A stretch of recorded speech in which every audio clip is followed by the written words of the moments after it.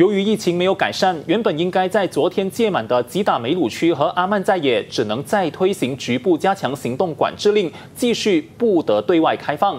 州政府承诺会拨款确保封锁区有足够的粮食。当局认为早前防疫措施功亏一篑，是因为封锁区里的居民依然可以自由行动，因此警方这次决定全面禁止居民踏出家门，就连待在屋外也不行。随着卫生部在发现有十二宗新冠肺炎病例后，美陆区和阿曼在野的局部加强行管令再延长两周，直到这个月二十七号。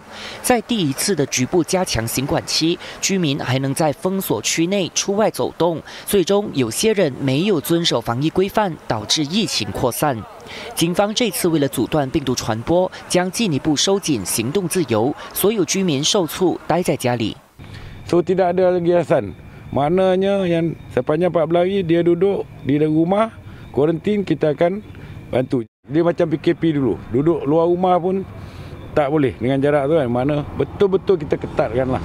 Jadi kekuatan yang kita draftkan uh, setakat ni 65 anggota polis, 63 anggota polis, 25 anggota tentera yang akan beroperasi secara 24 jam. 目前，整个美路区通往其他地区的路口已经设置路障，也会装上铁网。社会福利局将为受影响的两千五百二十九居民派发物资。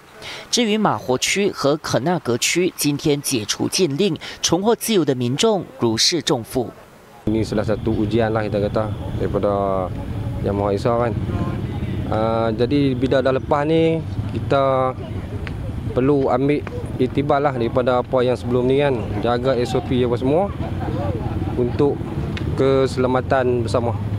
吉打州大臣莫哈默沙努西今早在亚罗士达出席政党活动后透露，受影响居民可联系天灾行动管制中心，工作人员将运送物资，满足生活所需。Sumbangan ini bergantung kepada panggilan ataupun keperluan. orang-orang yang datang ke PKOB atau membuat uh, panggilan telefon.